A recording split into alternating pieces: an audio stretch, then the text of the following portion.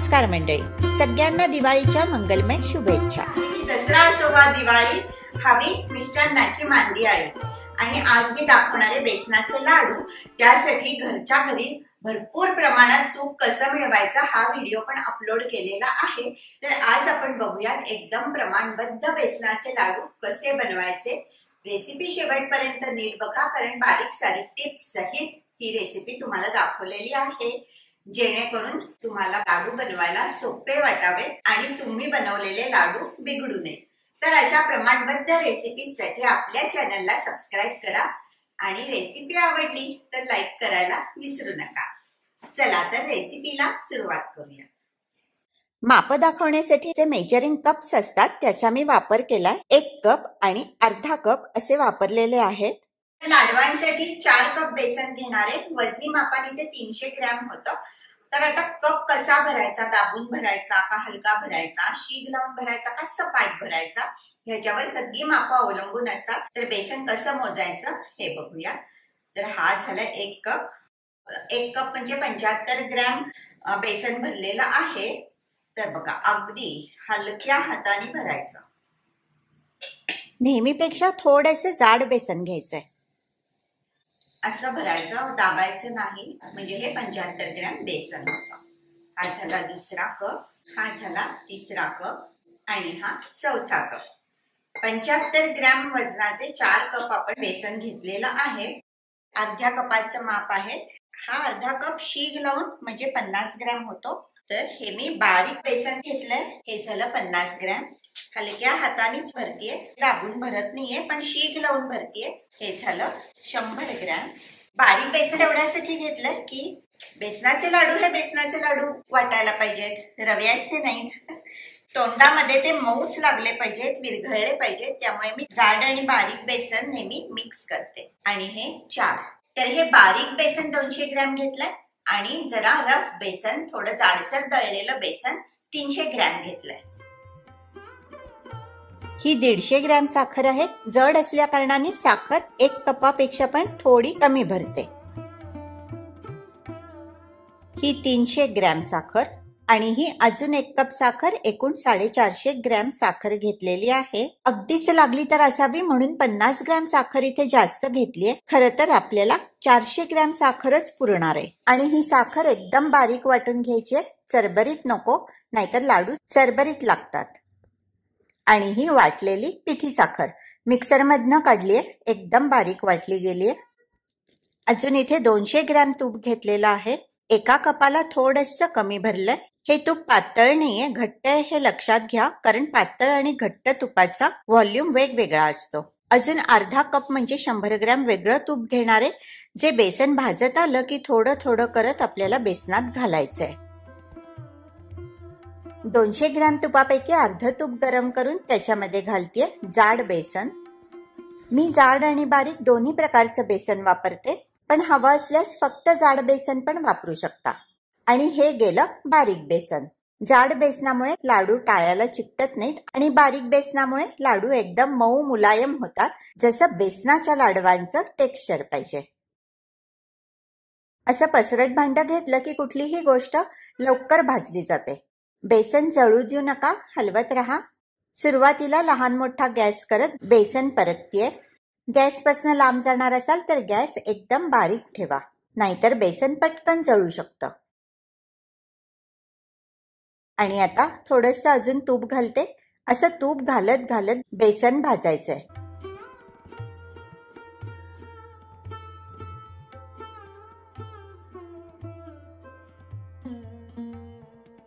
आणि बेसनाचा बदललेला रंग दिसत असेल तुम्हाला.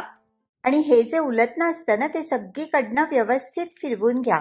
जिथे बेसन हलवलं जाणार नाही तिथे ते तळाला लागू शकतं करपू शकतं. आता उरलेलं तूप अजून घालते. दोन चमचे. ऑलमोस्ट आपण सगळं तूप घातलेलं आहे पण अजून आपल्याला जास्तीचं तूप लागणार आहे. मिश्रण छान ओलसर दिसलं पाहिजे. बेसनाचा रंग थोडासा बदलला की गॅस मोठाने ठेवायचा मध्यम आणि बारीक असा गॅस करत बेसन भाजायचं. बेसनाचा रंग बदलतोय तुम्हाला दिसत असेल. अर्धा मेजरिंग कप अजून तूप घेतलंय. वजनाने हे शंभर ग्रॅम आहे. आता ह्यातलं आपल्याला किती तूप लागते ते बघूया. तर एक चमचा तूप बेसनात घालते. असा अंदाज घेत घेत तूप घालायचंय. कारण तूप जास्त झालं तर लाडू बसतात आणि खुटखुटीत लाडू बनत नाहीत. त्यामुळे तूप जास्त पण होता कामा नये आणि कमी पण. आणि आता बघा बेसन कसं ओलसर दिसायला लागलंय. अजून थोडं तूप घालते. असं ओलसर बेसन दिसेपर्यंत तूप घालायचं. आणि नंतर घेतलेला अर्धा कप म्हणजे शंभर ग्रॅम तूप पण आपल्याला पूर्णपणे लागलेलं आहे. हे थोडस म्हणजे अगदी चमचाभर तूप शिल्लक आहे जे अगदी शेवट लाडू वळताना घालणारे म्हणजे लाडवाला तकाकी छान येते. तर सुरुवातीला दोनशे ग्रॅम तूप घ्यायचं आणि मग लागेल तसं तूप घालायचं. तूप किती लागेल हे थोडंफार बेसनाच्या क्वालिटीवर पण अवलंबून असतं. हे बघा बेसनाचे असे छान गोळे गोळे दिसले पाहिजेत ओलसर बेसन दिसलं पाहिजे आणि ह्याच्यामध्ये नंतर पिठी साखर घालणार आहोत त्यामुळे बेसन नंतर कोरडं होणार आहे. हा आता बेसनाचा जो रंग आहे तो एक्झॅक्ट बेसनाच्या लाडवासारखा आहे नाही का? आणि हा बघा हा जो खालचा भाग आहे तो इतपत ब्राऊन झालाय आणि ह्या रंगावरती बेसन भाजून घ्यायचंय. कारण ह्याच्यामध्ये पिठी साखर गेली की रंग अजून लाइट होणार आहे. त्यामुळे थोडं अजून बेसन भाजून घ्यायला लागणार आहे. अगदी दोन मिनिटं बेसन भाजून घेते. मंद गॅसवरच परता आता. हाताला जड लागायला लागतं बेसन. अजून थोडं डार्क करायचंय आपल्याला हे बेसन. जशी कणिक दिसते की नाही तेवढं ओलसर दिसतं हे बेसन. एवढं ब्राऊन बेसन झालं पाहिजे. आता हे होत आलंय. याहून कमी रंगाचं काढलं तर लाडू कच्चट लागतील आणि खाताना टाळ्याला चिकटतील. असा मस्टर्ड रंग आला पाहिजे. म्हणजे थोडासा ग्लुकोज बिस्किटापेक्षा डार्क पाहिजे. बेसन भाजत आलं की त्याच्यावर दुधाचे दोन हप्ते मारायचे. आपण मागे शिंगाड्याच्या पिठाचे लाडू केले होते. त्याच्यामध्ये पण असे दुधाचे हपके मारले होते. असं दूध घातल्याने पीठ छान फुलून येतं आणि लाडू हलके होतात. दूध सुकेपर्यंत परतायचं आणि मग हे बेसन ताटात किंवा परातीत काढून घ्यायचं.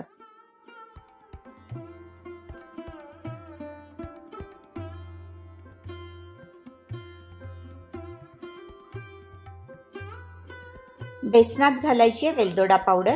अजून ह्याच्यामध्ये साखर जाणार आहे तर त्या अंदाजाने वेलदोडा पावडर घाला. घालायचे बेदाणे आणि हे बदामाचे काप. तर हे गेले बदाम. बेसन कोमट होईपर्यंत साखर घालायची घाई करायची नाही. गरम बेसनामुळे साखर वितळेल बेसन पातळ होईल आणि मग लाडू सैल होतील आणि बसतील. त्यामुळे बेसन कोमट झालं की मगच साखर घालायची. मागच्या वर्षी फराळाच्या बऱ्याच रेसिपीज पोस्ट झाल्या त्या सगळ्याच्या लिंक्स मी डिस्क्रिप्शन बॉक्समध्ये देते. तर ते पदार्थ पण तुम्ही बघू शकता. आता कोमट झालेलं आहे बेसन. त्याच्यामध्ये घालते पिठी साखर. पहिल्यांदा चारशे ग्रॅमच पिठी साखर घालतीये पन्नास ग्रॅम पिठी साखर बाजूला ठेवतीये घरी जर का पिठी साखर बारीक होत नसेल तर विकतची पिठी साखर वापरा कारण ती एकदम बारीक असते आणि आपल्याला चरबरीत साखर घालायची नाहीये. सगळं छान मिक्स करून घ्यायचं. हे जे एक चमचा तूप ठेवलं होतं हे आता शेवटी घालतीये?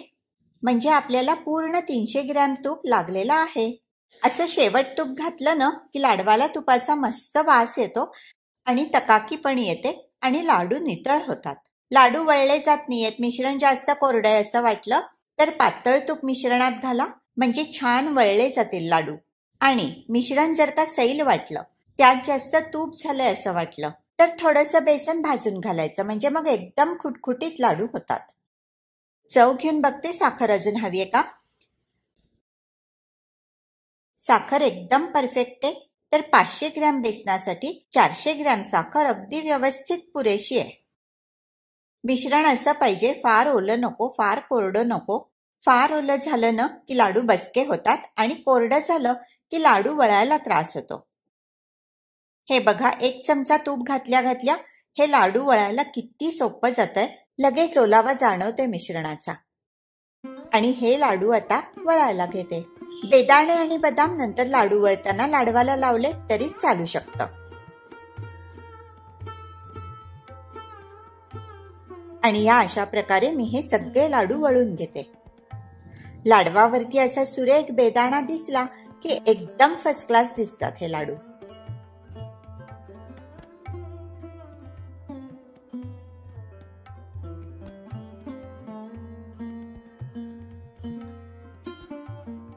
मस्त.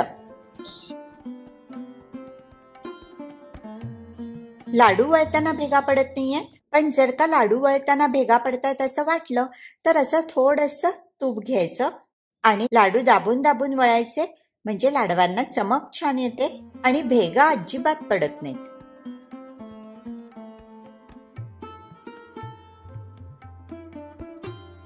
आणि हा आपला शेवटचा चिंटू लाडू. तर असे बरोबर पंचवीस आणि हा छोटा लाडू इतके लाडू झालेत. तीनशे ग्रॅम जाड बेसन दोनशे ग्रॅम बारीक बेसन चारशे ग्रॅम साखर आणि तीनशे ग्रॅम तुपामध्ये असे मस्त सुरेख खुटखुटीत सुबक लाडू झालेत. एक लाडू तोडून बघूयात कसा झालाय. वा एकदम मस्त. झक्कास. तर लाडवाचं दिलेलं प्रमाण हे एकदम परफेक्ट आहे. ह्या मापाने लाडू बनवून बघा. कसे झालेत मला कॉमेंट बॉक्समध्ये लिहून नक्की सांगा. आणि चॅनल शेअर आणि सबस्क्राईब करून तुमचा सपोर्ट द्या. पुन्हा एकदा सगळ्यांना दिवाळीच्या खूप खूप मंगलमय शुभेच्छा. आणि ही रेसिपी बघितल्याबद्दल सगळ्यांचे धन्यवाद.